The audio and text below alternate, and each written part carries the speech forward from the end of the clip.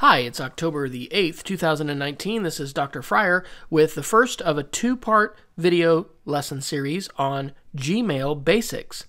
In this series, we're going to talk about 10 different things that you need to know how to do in Gmail. And in part one, we're going to talk about these first five descriptive subject lines, basic etiquette, choosing senders, and attachments. So let's go ahead and get started. First, by talking about a descriptive subject line.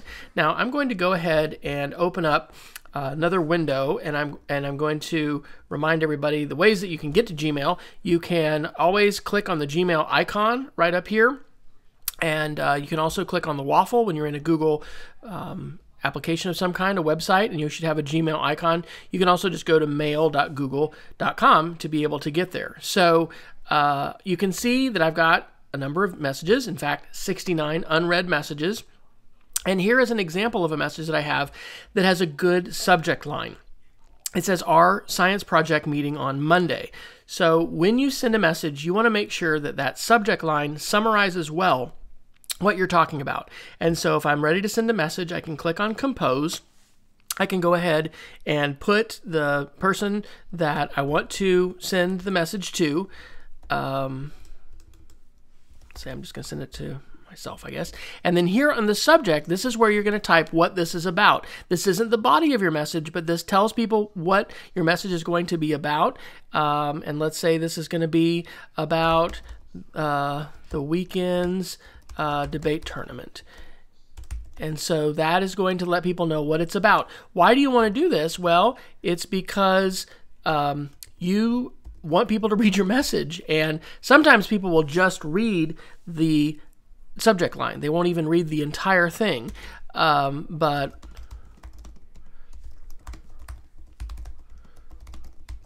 there we go. Um, you want to go ahead and share um, a good subject line so that it lets people know what this is about. And then, um, as we're going to talk about with etiquette, you want to put put these other elements uh, into your email message. All right, so that's a little bit about a subject line. Let's talk about basic etiquette. Um, I want to go ahead and show you an example of an email that really doesn't follow this very well. I've blurred out the name, so we're not seeing who this is from, uh, but this is actually an email that I recently received from one of my students, and we haven't taught this yet. And this is the exact reason why I'm teaching this. So the student sent me this email, and they only had a subject line um, and they did not put anything at all here in the body. Now you can see in my reply, I included uh, a salutation. Um, so you always want to include a salutation. Email is not text messaging. That's a really big lesson.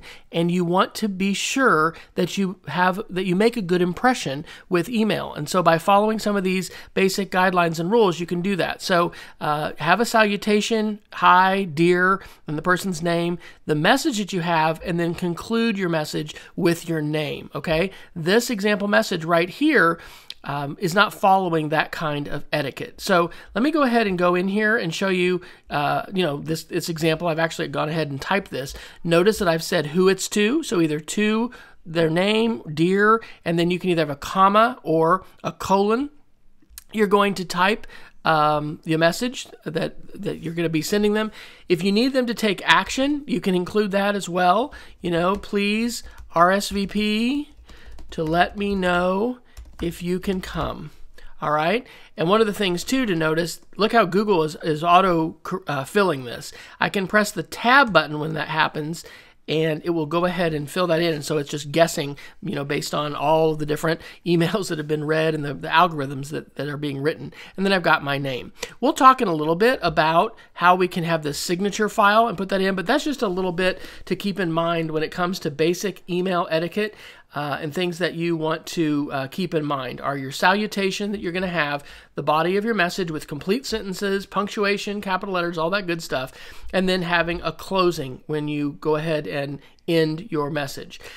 The last thing I want to mention here in this section is something called confidentiality. Notice that in this email message, if I click on show details, you can see, and this was a test that I sent, all of the people receiving this message, which in this case, oops, was just three different you know users, I can see all of their addresses.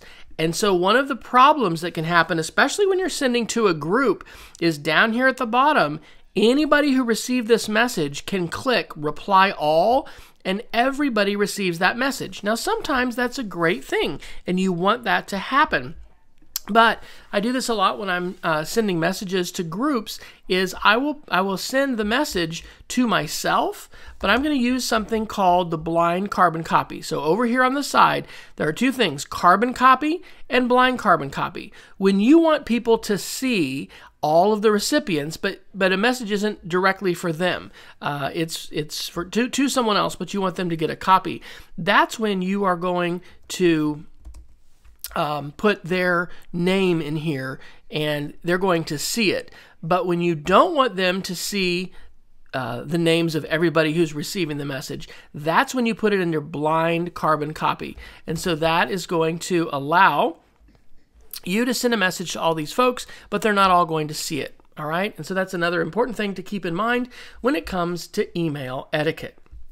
Let's go ahead and talk a little bit about choosing senders. And guess what? I just did that. That was I, I, I skipped my order.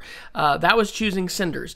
Uh, just to review, when I click compose, when you choose your senders, you're going to be able to you know type the, the person you want to send it to here, and you always have to have somebody in the to line, but this is where you turn on the CC or the BCC fields. All right, so actually kind of got ahead of myself, but that's fine. I want to get through this. So let's go ahead now and talk about attachments. So attachments are files that you're going to put on an email message, um, you know, checking in on how you are doing.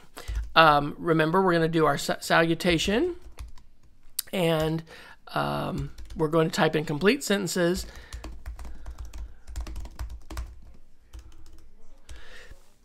And now I want to attach something.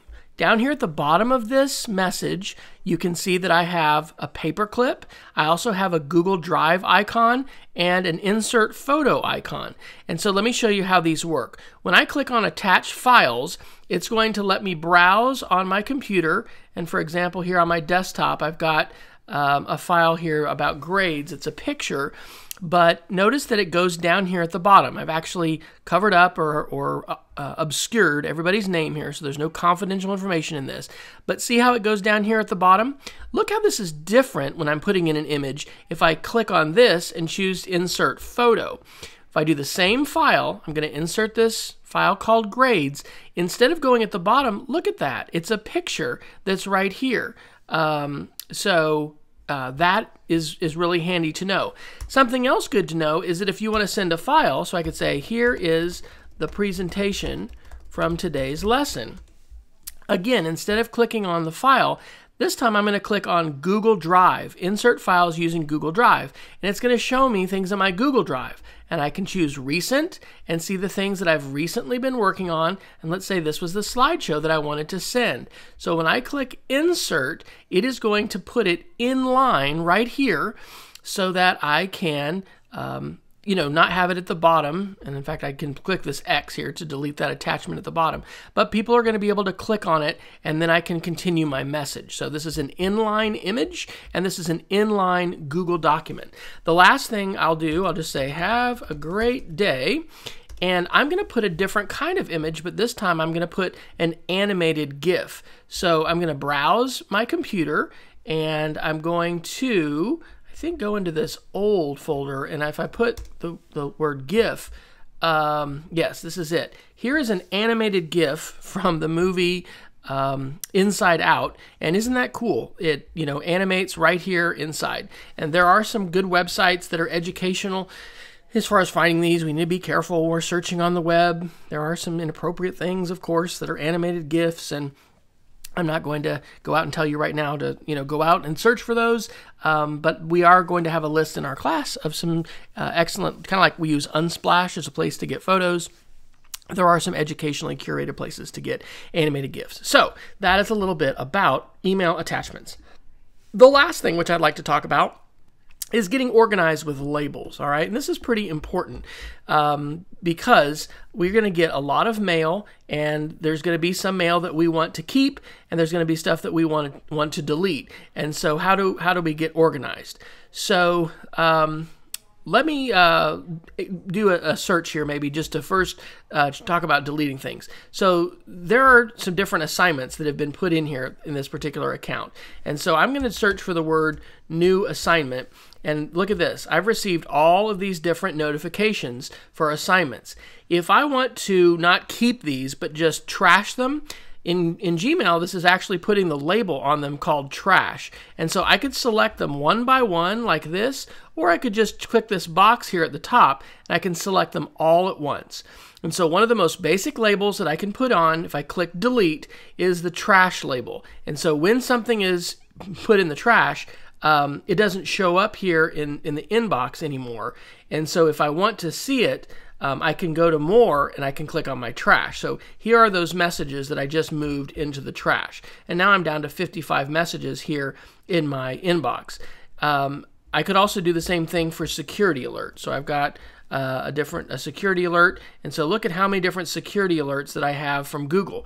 Really quickly, if I want to process through all 38 of those messages, I can select them here and then I can click the trash can and those are all gone. What's actually happened is I have a label that I have put on for the trash, and so when you you know click on one of these uh, messages, you're going to see it here, right? It's the label trash, but that makes it not appear here in my inbox. But what I'd like to talk about now, and this is the last topic for this video, are labels. And you can see over here, I've already created a label called Media Ideas, and then inside that folder or label, there's a label for Adobe. And so these are the different messages that have come in from Adobe. Um, and so I could have deleted these, but we're saying that these are things that I, I want to keep. Um, and so let's say that um, I want to, um, maybe I want to keep um, uh, messages about Powtoon, like because I've signed up for Powtoon, and here's a couple different messages. So what I'm going to do is I'm going to select this message, and you can see right now it has a label of inbox, and that's why it's showing up here as one of my 18 um, unread messages in my inbox. This is the label button, and so I'm going to click on labels, and then I'm going to uh, make one for Powtoon. All right, and so I'm going to create it. Now, if I wanted to just create that label there, I could, but I'm actually going to choose to nest that label under a parent. And so I'm going to say these are media ideas. And so now when I create that label, look what happened over here on the side. i am starting to get organized here. And so I have media ideas from Adobe and then from Powtoon. And so now I will remove the inbox label and when I click back here on my inbox, that is gone. So I'm going to do the same thing here for all of my Powtoon messages. Here are four different messages from Powtoon, and I'll select those. And then all at once, I'm going to click on the label and choose to put it into my uh, Powtoon Media Ideas folder. So I'll select it here and click Apply. And now those are all inside that folder. If I would like to remove these from my inbox, I could delete them. And if you don't want the message, it's fine. Just go ahead and delete it. But if it's something you want to hang on to, and you can do that with Gmail, and there's no limit to how many messages you can uh, basically have. Um, when you're on an educational account like we are, this is the button that you're going to click, and it's the archive button. When you click archive, it removes the inbox label. And so now when I go to my inbox, ah, look at that. I only have 15 messages. So really pretty quickly I've been able to filter out a lot of messages. I've saved some over here with labels, and I've also thrown some things away in the trash. So that takes us through our first uh, five topics. I would encourage you to next join me for part two of Gmail Basics, where we'll continue to explore some important skills and concepts that everybody needs to know about Gmail.